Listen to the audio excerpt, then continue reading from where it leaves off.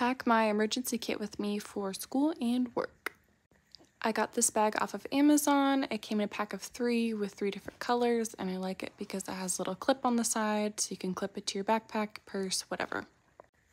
Gotta have tampons and pads, band aids in case you get a paper cut or blisters, hand sanitizer, hair ties, a claw clip. I have my spooky season one.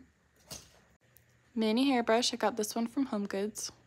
Of course, you gotta smell good. I have a mini perfume and lotion. Medicine for when people give you headaches. Dry shampoo, just in case you gotta touch up the hair. Lip balm for your crusty lips. Last thing I'll put in here is an extra pair of underwear. Sometimes periods are unpredictable and it's always better to be prepared. Let me know what's in your emergency kit and if I should add anything to mine.